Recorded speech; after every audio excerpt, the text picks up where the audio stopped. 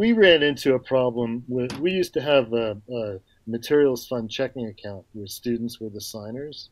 Okay. And we came into a problem where they changed the rules so that only um, somebody 18 or older could be a signer on a checking account.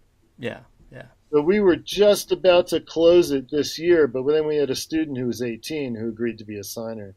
Oh, okay. Yeah. so, so we're gonna we're gonna keep it we're gonna keep it going.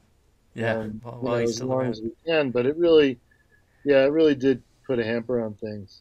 Yeah, yeah.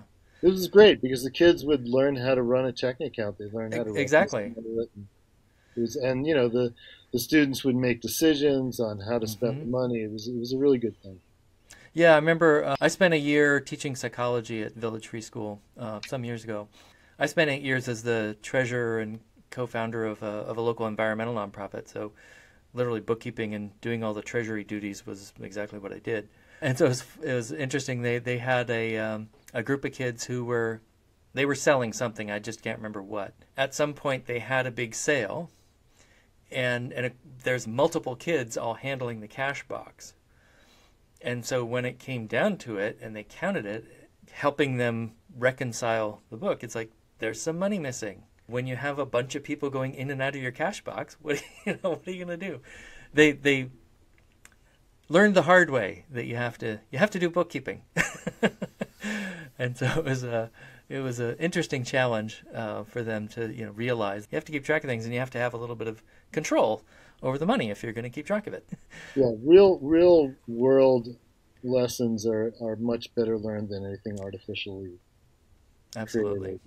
The other thing we've learned is that the more power, the more actual power you give students, Mm-hmm. the more they'll learn from the situation. Yeah. So when you actually give them the power to hire and fire adults, then they, they take it seriously and they really learn and they really grow from the experience. Yeah. Yeah. I bet. Yeah. Yeah. It's interesting because that's that's one area that there is a lot of variability on, is that some schools reserve the right to hire and fire, you know, the adults, whereas you've done the opposite and said, you know, we're gonna let them handle it, and then there's a whole learning process that attends that. So, so I think you're right. That's a really important. I, I think I it's think- really it's really one of the best things we do because I, Mhm. I, I've never seen the students stand up taller than after they fire a, stu- a teacher. Wow. Yeah.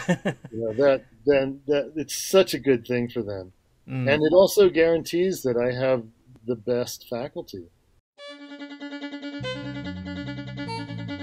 This is the Agentic Schools podcast, where you will learn about schools from around the world where children's agency to make decisions about their learning and living is more important than their academic skills.